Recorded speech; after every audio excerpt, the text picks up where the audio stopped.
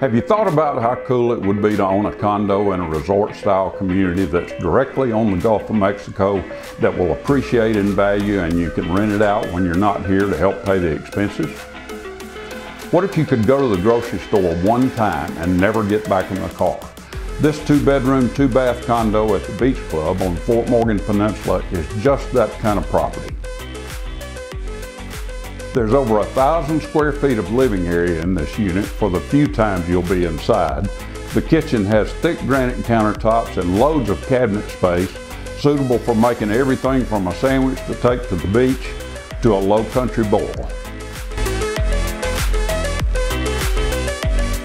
Both bedrooms are large enough for a king-size bed so your guests can have plenty of room and the primary bedroom opens up to the balcony so you can wake up to the waves crashing against the beach. Speaking of the beach, how about this view from the third floor?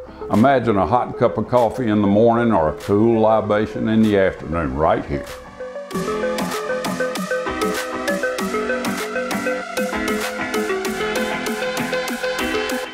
Why do they call this resort? It's the amenities.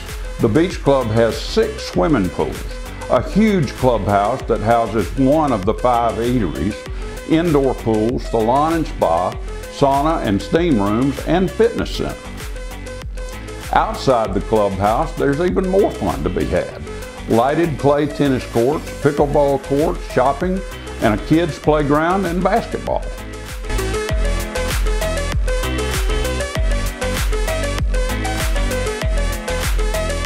If you'd like to learn more about Unit C308 at the Beach Club or any other listing in Gulf Shores, Orange Beach, or the Fort Morgan Peninsula, just give me a call. I'm John Ricks with REMAX in Gulf Shores at the Peninsula.